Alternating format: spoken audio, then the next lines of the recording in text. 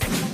A presidência da República divulgou nota de pesar assinada pela presidenta Dilma Rousseff pelo falecimento do governador de Sergipe, Marcelo Deda, que morreu vítima de câncer na madrugada desta segunda-feira.